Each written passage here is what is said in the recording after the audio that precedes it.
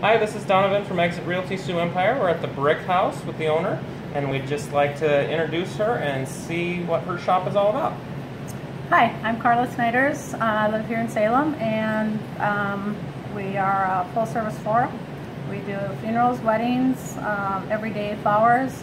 We have antiques. Of course, this building is um, a 1918 building, so it's the first brick building in Salem, South Dakota, and it's unique in that way. And so we like to kind of keep the theme going with um, with the building. Have a few antiques in here. Um, try and do things that are unique giftware. Um, people that actually restore furniture or they make their own consigning, their own craft so that makes it unique in Salem. Um, that way you're not competing with everybody else and what they're doing. We have a garden center that we um, keep open. It starts April 29th and it'll close July 1st. That's new this year, but it went over really well, and so we're excited about that and coming back next year. And um, otherwise, we're open um, Monday through Saturday, Monday through Friday. We're here 10 to 6, and Saturdays we're here 10 to 2.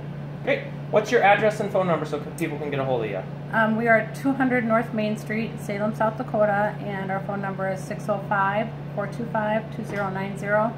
We also have a website and we have um, an email. So our website is www.brickhouseflowers.com. And you can email us online to order flowers. Our email address is brickhousegardensinc at gmail.com. Great. Hope people come out to Salem and see this beautiful shop. Thanks and have a great day. Thank you.